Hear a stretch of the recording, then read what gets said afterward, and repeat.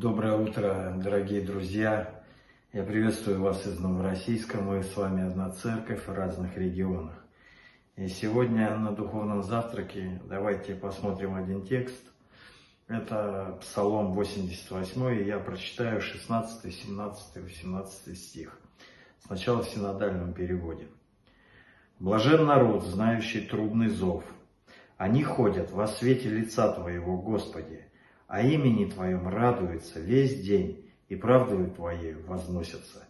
Ибо Ты украшение силы их, и благововением Твоим возвышается рог наш. Аминь. И я хочу прочитать еще современный перевод, здесь более четко и понятно. Те счастливы, кто верно Богу служит, так как они в свете доброты Твоей живут. Они радуются имени Бога все дни и благость Твою восхваляют, поскольку Ты им чудесную силу даруешь. Ты источник силы их. Давайте скажем аминь.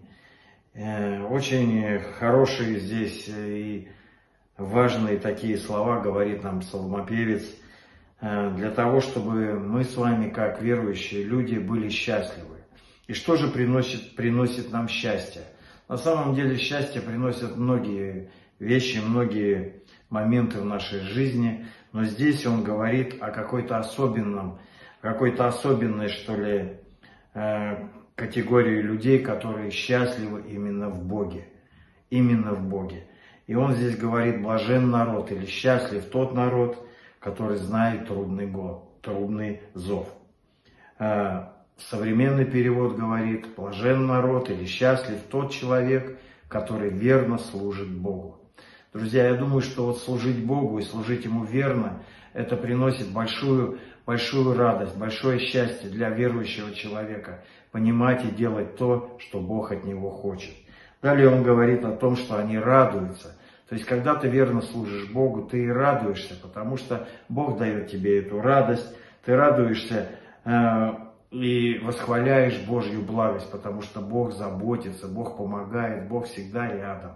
И последняя мысль – это то, что Бог у тех людей, которые верно служат Богу, которые счастливы, которые слышат трудный зов, такие источником силы таких людей является именно Бог.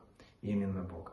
И с этой мыслью я благословляю вас в этот день, чтобы вы были счастливы, служили Богу, исполнились вот этой высшей формой счастья, блаженством, в служении нашему Господу, чтобы радовались, восхваляли Его имя, и чтобы всегда источником ваших сил являлся Господь Иисус Христос.